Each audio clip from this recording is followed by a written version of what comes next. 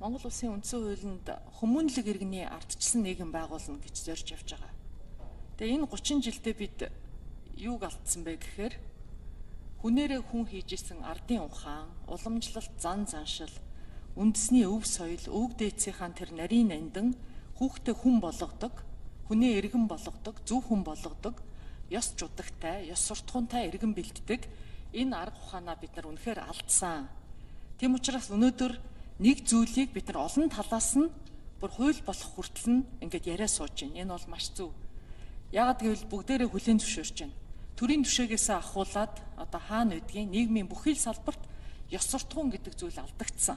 Ёс жудаггүй болсон. Улсын их хурлын гишүүдийн бас төрийн албаа агчдын нэр хүнд унсан, нийгэм замбраагүй болсон. Одоо ард иргэд юу өсөж ийн гэхлээр ерөөсөө энэ нийгмийг ёс суртахуунтай, ёс зүйтэй болгох юмсан гэсэн ийм хүсэлтээр байгаа. Тийм ч учраас энэ хүсэлтээр иргэдээ бид нар ёс суртахуунтай байх хэрэгтэй юм байна гэсэн ийм одоо зорилготой, ийм үзэл баримтлалтай хууль орж ирж байна гэж харж байна. Миний хувьд бол маш их дэмжиж байгаа. Хүүхэд хаана нэвтэрж ийн гэхлээр гэр бүлдээ мөн нийгэмд гэр бүлийн хүмүүжил гэж асар том одоо хүмүүжил а мөн нийгмээрээ гудамжинд байгаа хүүхдийн буруутай үйлдэл төр нийтээрээ санаа зовдөг нэг хүүхдийг хүн болгохын тулд нийтээрээ санаа тавьдаг байсан ийм бид нар бодлоготой байсан. Энэ алдагдчихад байгаамаа. За баяр сайхан гишүүн бас боловсролын салбарт энэ Монгол улсын боловсролыг тодорхойлж байсан хүн учраас үнэхээр энэ амин чухал асуудал гэдгийг бол зүрх сэтгэлээсээ мэдэрч байгаа юм л да. Тэгээ хүний хөгжил гэдэг ингээ хүний хөгжлийн тухай хууль гэдэг ингээ явчих юм бол энэ чинь бас их том хууль болно. Өнөөдөр улс орны хөгжлийг эдийн засгийн өсөлтөөр нь биш хамгийн том хэмждэг шалгуур бол хүний хөгжлийн индекс л гэж байгаа шүү дээ. Тийм бол хүний хөгжил гэж юу юм бэ гэдэг инхээр боловсрал, эрүүл мэнд, нийгмийн хамгаалал, ажлын байр гэдэг ингээл явчихна л том задраа явчихна л да. Тэгээ илүү одоо ингээд хүмүүнлэг сэтгэл зүрхний боловсрал гэж тодорхойлсон юм байлээ л дээр нь дэлхийн улс үндэстэн тэгээд тодорхойлсон юм байл. Тийм учраас нөгөө шин дугуй зохиож болохгүй гэдэг шиг ингээд энэ чиглэлээр нь бид нар явсан дээр болов гэж би бодож байгаа. Тэгээ бид нар чинь бол яс уламжлалыг одоо тээгч нар. За миний үеийнхэн бол нөгөө өө эмээгийнхээ үлгэр сонсч өссөн л ийм л хүүхдүүд байгаа шүү дээ. Өнөөдрийн нөгөө хүүхдүүд чи компьютерийн тоглодог ийм нэг X generation, Y generation, millennium generation шинэ үеийнхэн шиг юм биш юм байна.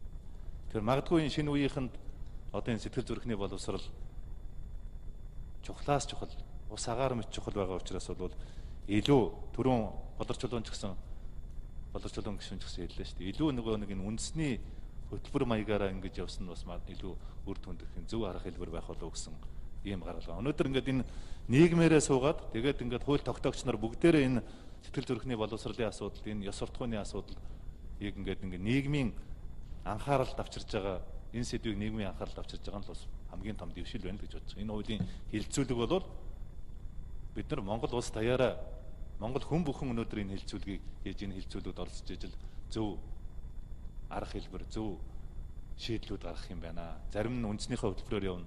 Зарим тэр боловсролынхаа хуулийн агуулгад, сургалтынхаа агуулгад ороод явна.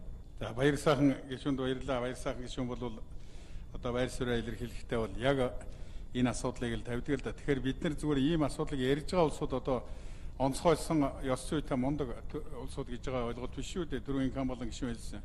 Манивтын юм чи одоо усан нүдтэй зусан зөрөгтэй махсуусан төрсөн манивт чи өчнөө олон дутагдал байна шүү дээ. Гэхдээ яах зүгээр багын төрөн ундрам гişүний хэлсэн айл хотлороо гэрүүлийнхээ хүрээ сая баяр сайхан гişүн чи хэллээ.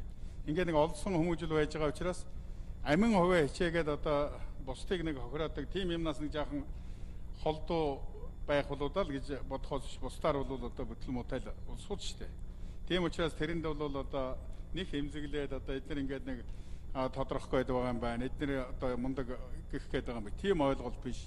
Өнөөдрийн энэ Монголын нийгэмд чинь бий болчоод байгаа энэ зүйлийг бид нар яаж хурдан хугацаанд одоо арилгах юм бэ? Бид нар өдөр болгон хууль үйлдвэрлэж байна. Энэ нийгмийн одоо хэмжээнд бий болсон энэ хүчирхийл хүний эрхийг зөрчиж байгаа энэ бүх юмтай тэмцэхийн тулд бид нар хууль үйлдвэрлээд байдаг. Хууль цагдаагийн байгууллагынхаа одоо бүгдийн орон тоогийг нэмээд байдаг. Үн чи одоо бид нар эхнээс нь сэтгэлийн боловсролынх нь хувьд бид нар ажиллахгүй бол бүгдээрээ цагдаа болооч одоо бүтэхгүй шүү дээ. Сайн ярих юм бол одоо энэ цагдаа хууль хүчний байгууллага дотроос хичнээн одоо олон асуудал гарч байна хамгийн одоо ихтгэл хүлээсэн төрийн алба бүр яамны одоо газрын дарга хүн анны хэрэг аллах үгүй ер нь айл юм хийж барах юм байна. Тийм учраас бол одоо зөвхөн хуулийн хэм хэмжээгээр одоо зогсуулна гэдэг энийг ингээд түлхэж хаяад дахиад одоо хэдэ 10 жил явах юм уу? Тэгж болохгүй байгаа нь л да.